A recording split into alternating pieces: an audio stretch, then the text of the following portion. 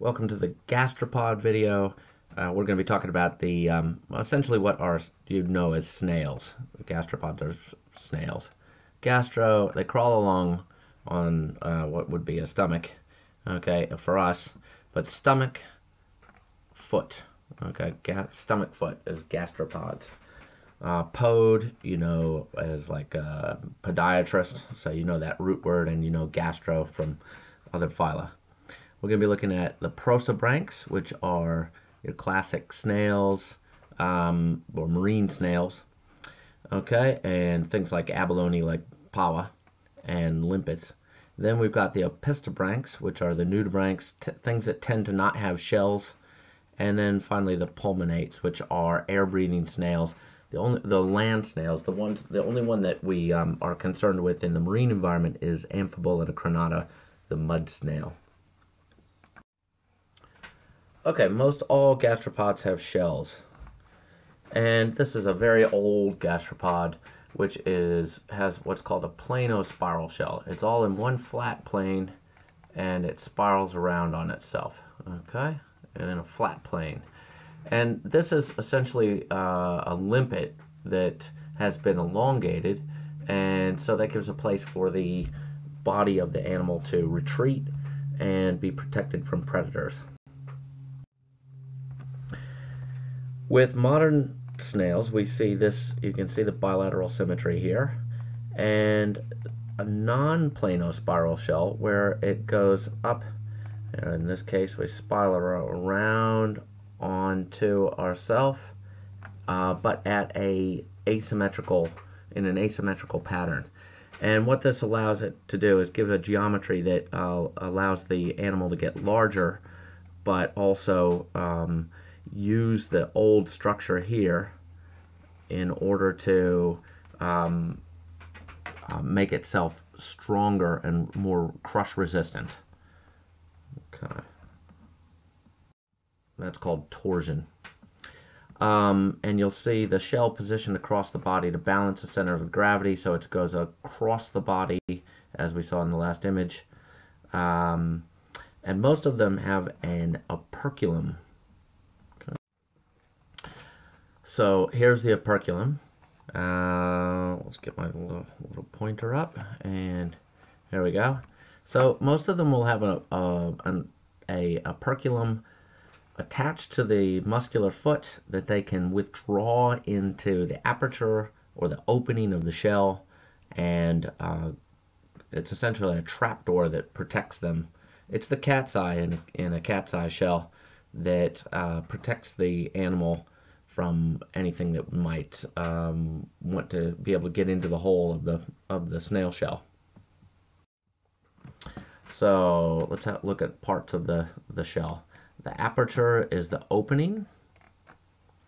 The columella is the central spine. Okay, and that's very strong. Um, the whorl, one whorl is essentially one trip around the the body of the of the the shell. So one spiral around is one whorl. The apex is the top, the very top point. Okay, the spire is the height. Uh, the spire is all of the shell from the first time that it gets makes one transit around the shell all the way to the, the rest of the way up to the top of the um, shell, to the apex. Okay, you have a siphonal canal, which is here. And you'll notice that not all um, animals, not all mollusks or seashells have a siphonal canal. Some are just round openings. The ones that do have siphonal canals are predators or um, or scavengers, and the ones that don't are grazers. We'll talk about that, why that is in a little bit.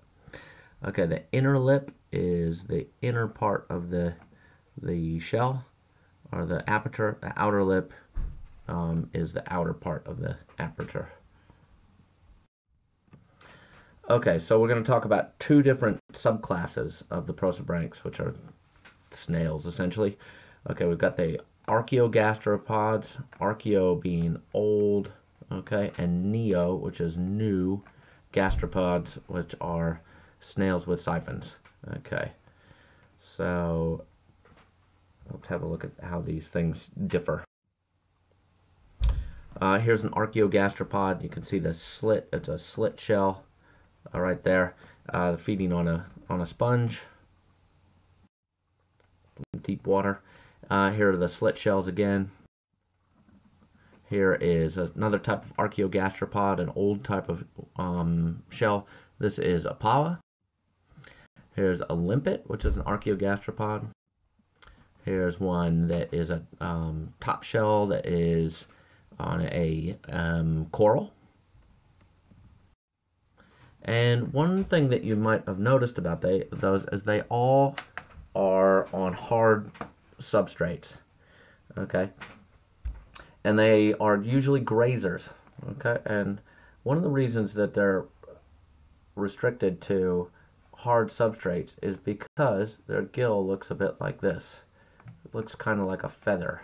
All right. So and that is called a bipectinate gill because it has, let's change our color up here.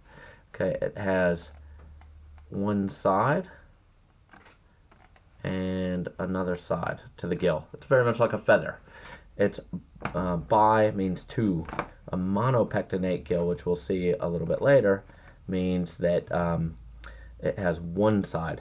Now, the reason that's important is because these bipectinate gills uh, traveling across um, sediment are very susceptible to damage by that uh, fine sediment, and so these things are restricted to hard uh, substrates. Okay, and here's the monopect or the bipectinate gill. Okay, mouth, muscular foot, the mantle goes along the edge of the shell. Okay, so this is your typical, um, what would it be? It'd be a uh, limpet, um, and you can see that it looks almost exactly like the the um, chiton, right?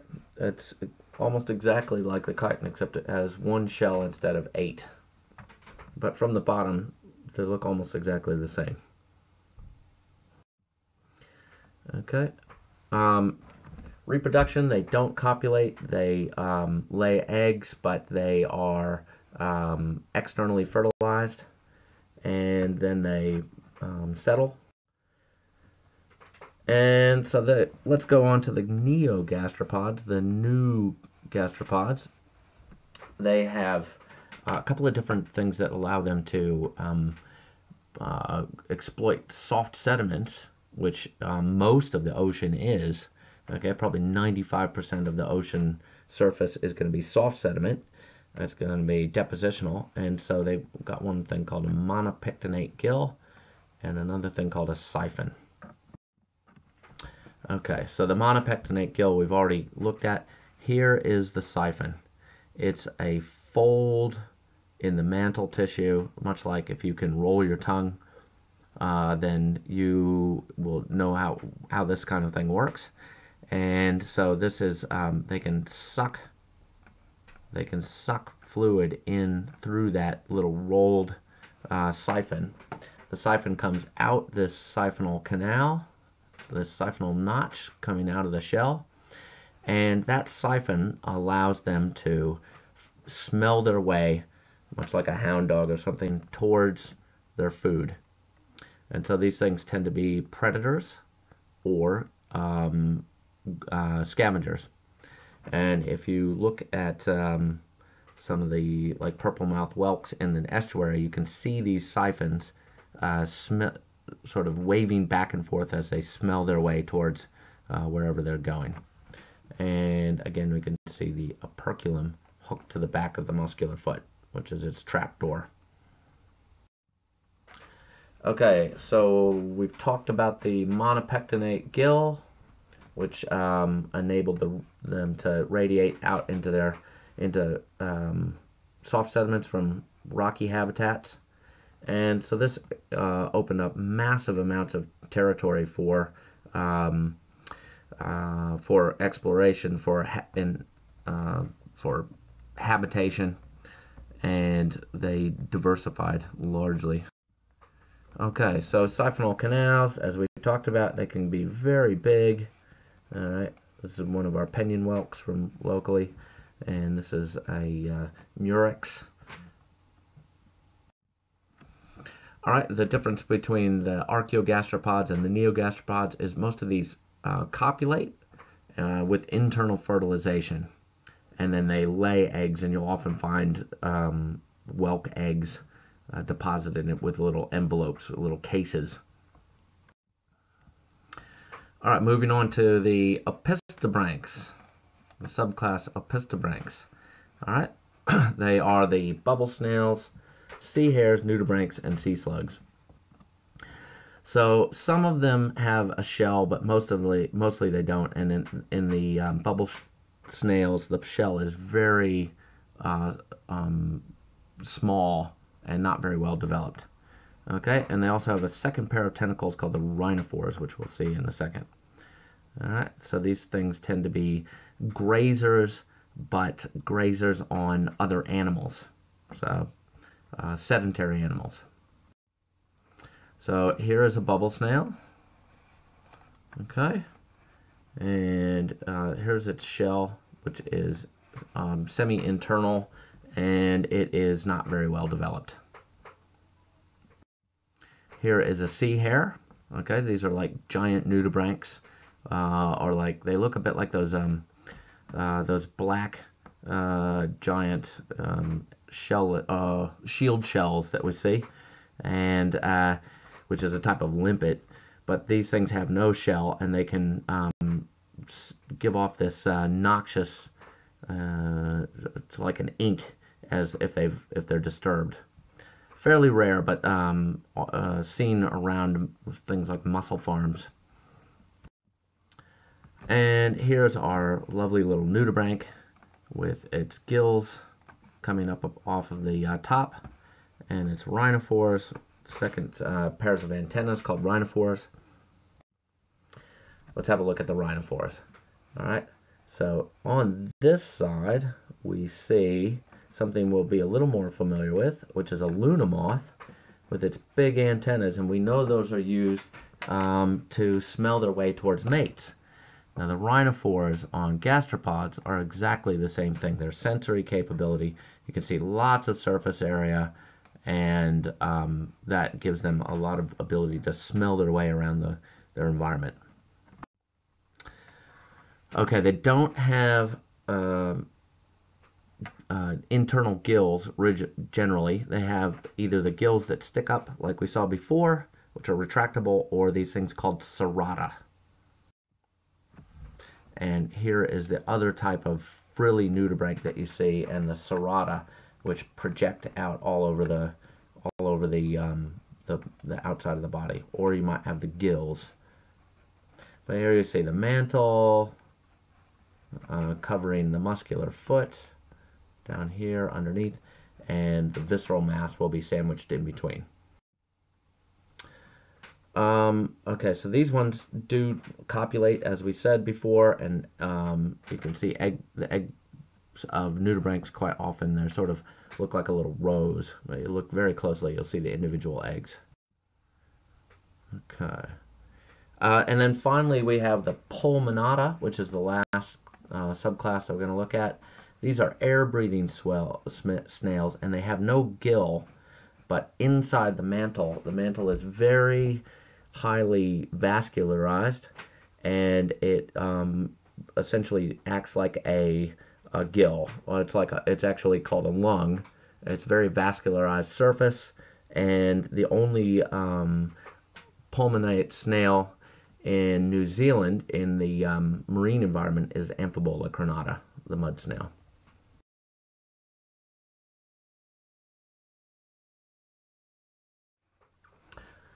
And finally, with gastropods, um, we look at the feeding. They pretty much all have a radula, as we've um, talked about in the overview video. Uh, they have this thing called the odontophore, which is a essentially what the radula uh, it's a hard backing for the radula so that it, it helps press the radula down on whatever it's um, whatever it is scraping. Okay. And uh, so they they they're like chipmunk teeth, where they're uh, the worn teeth are continuously replaced, and new teeth are made at the front of the of the radula. So that's it for the gastropods. We'll see you in the next mollusk video.